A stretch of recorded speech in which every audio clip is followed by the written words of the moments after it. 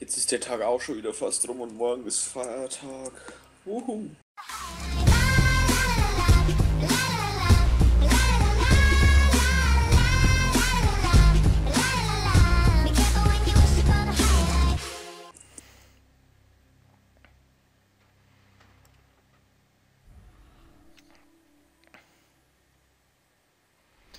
Ist ja schon wieder Pfingsten. Yay, das heißt, ich muss heute Abend nicht um 10 offline.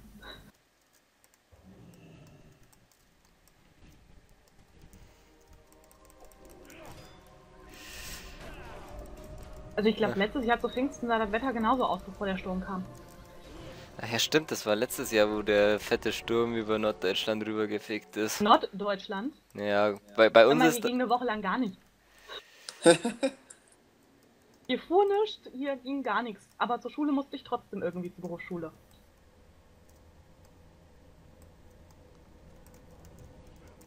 Und ich wohne nicht in Norddeutschland, wie du weißt. Ja, äh, all, alles nördlich von Bayern und Baden-Württemberg ist von uns aus gesehen Norddeutschland. Da ja. Vorbei, und bei uns kam da nur noch so ein laues Lüftchen an. Ich habe ich hab mich schon gefragt, ob Timon vielleicht weggeflogen ist, aber dafür hat er doch zu viel Körpermasse. Ja, da, das war die Zeit, in dem du das Bild mit dem umgeschubsten Dixie-Klo gepostet hast. ja, ich und Timon war das euch im Garten. ja. Das war geil. Timon, dein Klo ist umgefallen. wow, so.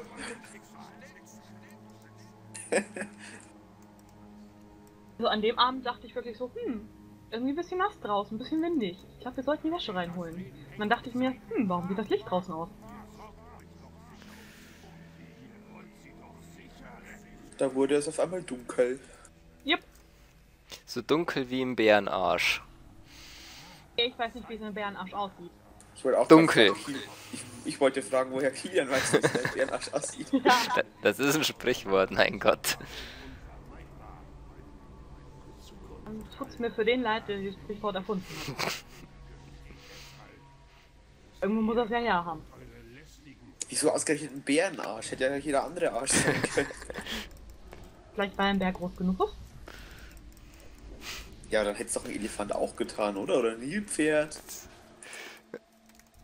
Deutsches Sprichwort, sowas haben wir hier nicht. Im Zoo findet man alles. Da gibt man sich schon eine Hand der Freiheit und dann hilft das trotzdem nichts. Ach, deswegen, der Gimp Hunter hat das Pack des Rudels an. Ne? Läuft!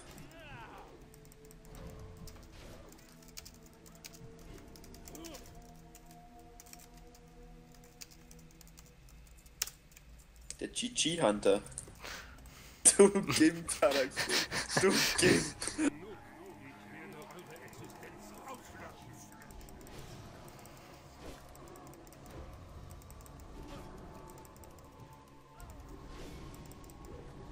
Mach dein Rudel aus, du Gimp.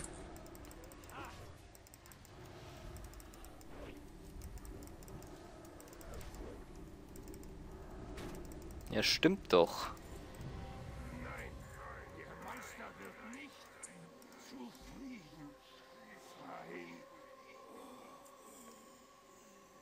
Hatten wir nicht eine Quest am Anfang schon, oder? Da Ja, aber konntest du hast sie wegen unserem Mr. Gnome Ach, Priester. ja, genau.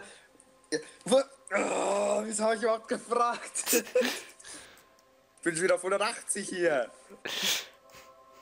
Ich gehe mal davon aus, dass wir hier sowieso noch mindestens einmal reinkommen. Wundert es, dass ich nicht grün anlaufe und sag grün. Fuck. Verkackt. Egal. Ja, du verkackst es irgendwie immer. Ich habe einen Lachflash, kurz zwei Minuten nicht zu hören.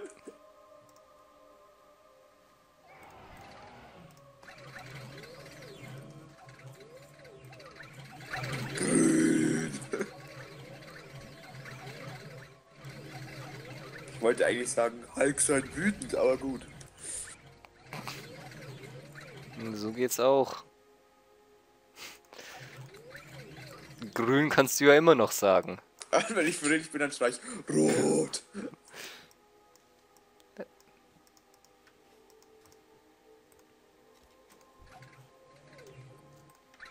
So, musst du nur mal kurz mein Zeug hier verkaufen.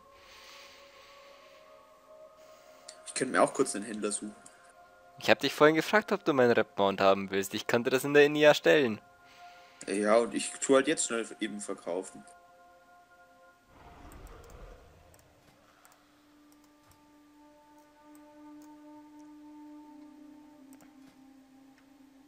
Lass mich erst verkaufen. Wird eh ein bisschen dauern, bis da wieder was kommt. Wird ein bisschen was dauern, bis wieder was kommt. Ja, Genau. du, bra du brauchst dir über 30 Sekunden, um dein Zeug zu verkaufen. Hm? ähm, ich stehe jetzt erst am Händler, du Held. Weil Ja, ich du hast jetzt- Account habe. Du hast jetzt noch 26 Sekunden. Was willst du? Und sobald du annimmst, geht's los.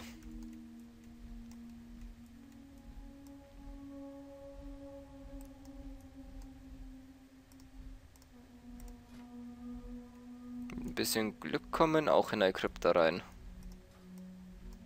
Nein, jetzt habe ich meine Maske verkauft. Und verkackt. Ich bin noch nicht mal halb durch.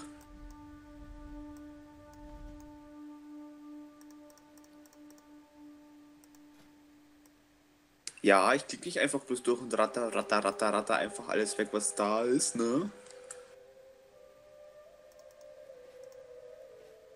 Ich frage mich, warum. Geht viel schneller.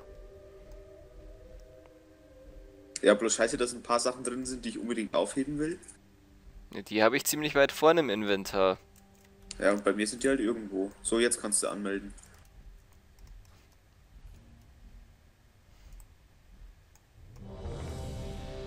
Dauert ein bisschen, ne? Ja, die Oh letzten je. Male habe ich als Tank immer ein bisschen warten müssen. Auch in der Krypta, sehr schön. Da ist auf, Ach, da waren wir noch nicht. ist auf jeden Fall Level 67 drin. Definitiv. Ah, da haben wir ja unseren ersten DK. Ja, und den ersten hatten wir schon im Hölle Höllenfeuerbollwerk. Ja, aber nicht, nicht heute, ne? So. Ja, heu heute der erste ist es auf jeden Fall. Ja, mit, mit Höllen, wenn du Höllenfeuerbollwerk kommst, da musst du. Da, da ist die Chance sehr, sehr, sehr, sehr, sehr hoch.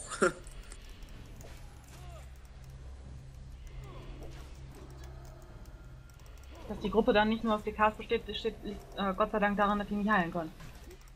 Wobei sie theoretisch keinen Heiler bräuchten, so wie die, so viel wie die Bluttodesritter heilen. Sehen wir ja Aber immer müssen an. ja alle auf Blut spielen. Se sehen wir ja immer bei Dante, wenn der bei den wenn wir bei den Jungfern sind, der liegt da im Heilmeter immer irgendwo unter den ersten zwei, drei Plätzen. Und wir spielen den mit drei Heilern. Läuft bei ihm, würde ich meinen. Ja, also den, der, der kloppt sich mit den Heilern um den zweiten Platz.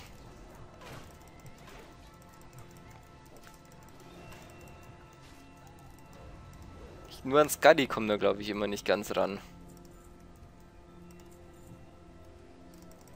Wäre noch schlimmer, wenn man da gar keine Heiler mehr bräuchte, außer für die Gruppe.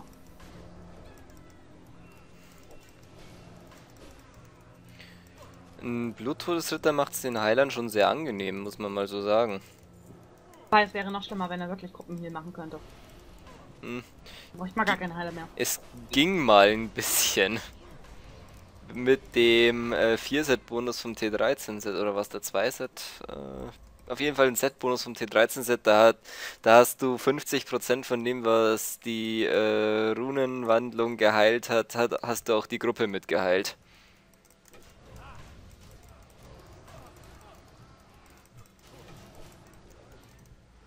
Aber die T13-Set-Boni von den Tanks hatten alle irgendwie so einen Effekt, dass irgendwelche CDs, die der Tank benutzt hatte, hat, haben, gingen zur Hälfte auch auf die gesamte Gruppe. Hm, T13 war nochmal was. Äh, Drachenseele. Ich hab da getankt. Ich hab da getankt, aber keine Ahnung mehr. Beim Krieger ging es auf den Schildwall, wenn ich mich nicht täusche. Also da war 50% vom Schildwall-Effekt, hat die ganze Gruppe abbekommen. Ich hab getankt. Ich hatte mit meinem Dodo das selbst, aber keine Ahnung, frag mich nicht. Man könnte es ja im Atlas-Loot nachschauen. Könnte ich, wenn ich wollte. Ja, das Wollen und Können, das sind schon immer zwei Paar Stiefel gewesen. So, jetzt nicht vergessen, hier gleich noch die Quest anzunehmen von der Tussi hier. Das hat nämlich Alter das letzte Mal vergessen. Nee, das, ähm, ich habe erst den Todesritter so an dem Level vorbeigeschoben. Definitiv werde ich diese Quest nicht vergessen. Also entweder bin ich jetzt blind oder es gibt nur Wildheit T13Z. Ähm, liegt das vielleicht daran, dass das damals noch die zwei, zwei die, beides die gleiche Skillung war? Also es war ja beides noch Feral.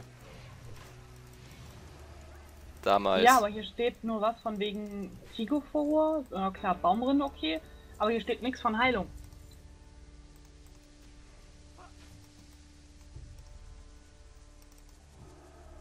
Irgendwas äh, erneuert äh, Verfetzen oder so, wenn es, wenn es benutzt. Verringert die Wutkosten für wilde Verteidigung und erhöht die Dauer von Baumrinde.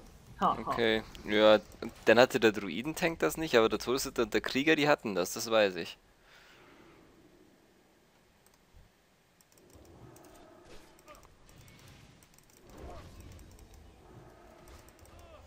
Boah, Lady K schon, Vampirblut.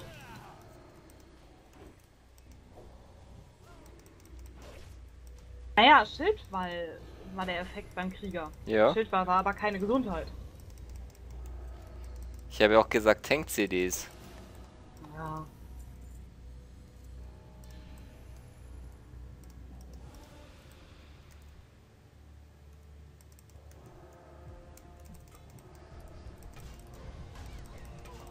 Oh, der Pala hatte das auch nicht. Okay, dann hatten das echt nur der Todesritter und der Krieger. Gut, das waren die einzigen Tanks, mit denen ich mich ein bisschen auseinandergesetzt habe, weil ich, Ja, ich Mönch gab's damals ja noch nicht. Mönch war ja nicht und Bärchen habe ich zu dem Zeit kein Spielen sehen, nicht wirklich. Also meinen eigenen. Ja. Und Paladin-Tank hatten wir da auch Wegen- keinen. Also wir hatten damals halt einen Krieger und einen Toaster, das waren Bloody und Dante damals, die getankt Ja, haben. und ich weiß, dass ich im Schwingschwann einem gewissen Jäger die Waffe geklaut habe beim Endboss. Ja. Und ich Ich hat hatte bis heute, glaube ich, noch verflucht. Äh, Da- Dante hat mich auch verflucht, dass ich mit meinem Todesritter die Hero-Waffe vom zweiten Boss eher hatte mit meinem Todesritter als er mit seinem. Ja, passiert, ne? Genau Ja. wie ich jetzt umgebracht werde wegen dem Schmuckstück. Naja, wir- Ich bin heute Und- Abend. Ich. Ne? und- also, wenn und- ich heute Abend nicht mehr da bin, weißt du warum. äh, müssen wir eh schauen, ob heute Abend überhaupt ein Raid zusammengeht. Das ist immer die Frage. Die Anmeldungen sehen nicht allzu rosig aus. Ich habe tatsächlich nicht geguckt. Ich weiß nur, dass ich ausschlafen kann morgen und somit nicht früh aufstehen muss und damit somit Zeit habe. Wenn ich mir random irgendwas suche oder so, ich will heute auf jeden Fall irgendwas machen.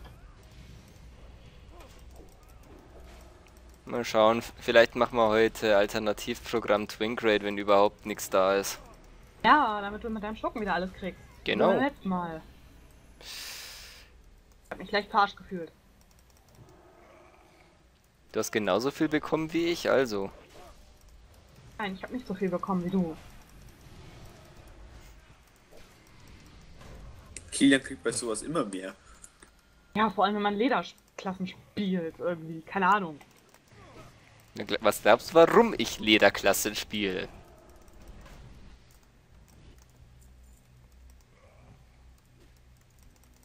Glaube, ich sollte mit meinem Dudu echt mal wieder anfangen, irgendwas zu tun, ne? Hm, ja. Alleine wegen dem Loot.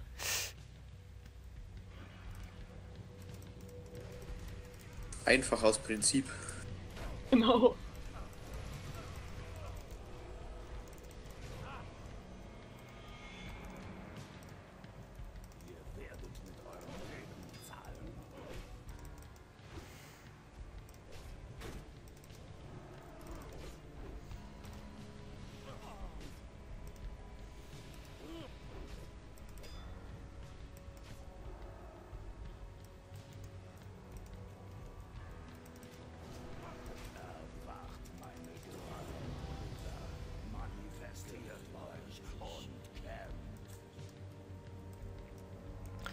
So, jetzt noch Quests abgeben. Und Level 67. Jo. Hab das ja gleich geschafft. Jo, ein Level noch. Ramazan. Nio.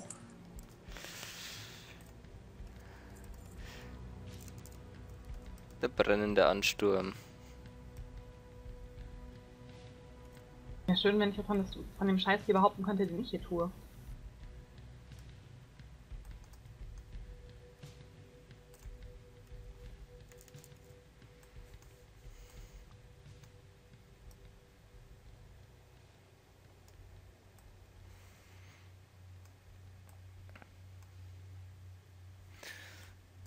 Hm. 16 Uhr und draußen ist schon wieder so dunkel, weil es halt so wolkenverhangen ist. Ja, ich rechne immer die ganze Zeit damit, dass im Moment das Regnen anfängt. Ich habe keine Ahnung, wovon ihr redet. Ja, wir liegen ja auch knappe 600 Kilometer auseinander, wen wundert's? Ist mir egal. Ist mir egal.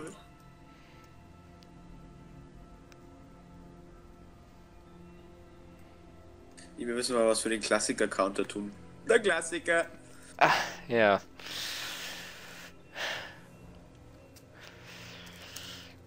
Der Klassiker-Counter.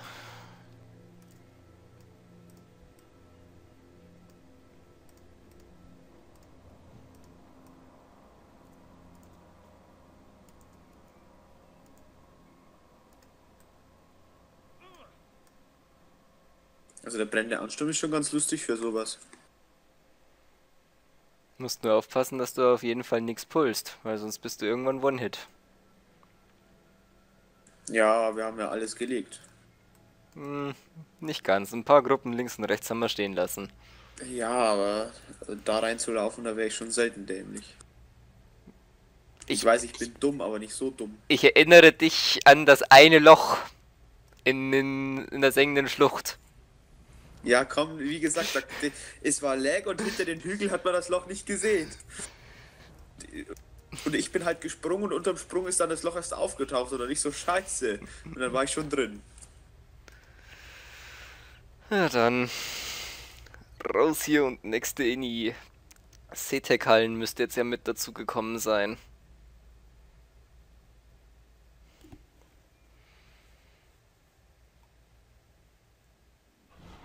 Und ich betrink mich mittlerweile mit meinen neuen Freunden in der Bar in Schattrat. Ja, die CTEC-Hallen sind mit dabei.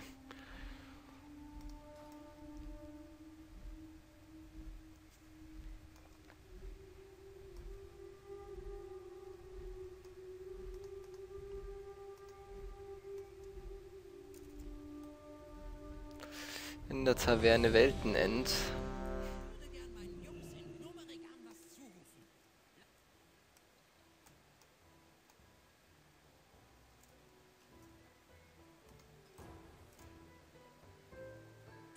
Diesmal nochmal eine Chance bekommen, die Quest zu machen. Hm.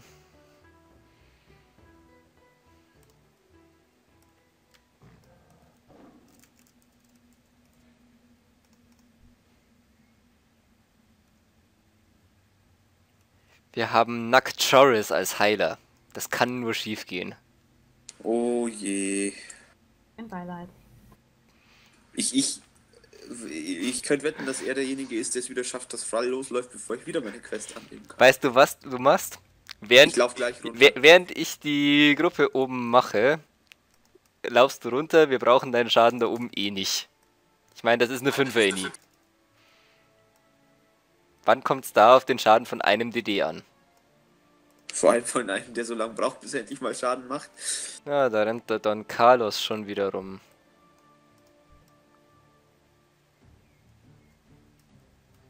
Töte ihn, töte ihn. Wir sind da gerade nur zu zweit, das könnte böse ausgehen. Mit dem Mönch würde ich auch mir das jetzt wiederum zutrauen, weil der hat ein bisschen mehr Self-Heal als der Pala.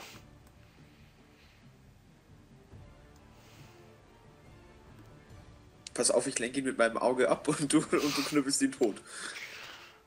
Jetzt kommen wir bloß nicht wieder mit dem Auge von Killrock daher. Ich glaube, das letzte Mal habe ich das scheiß Ding in Kara benutzt.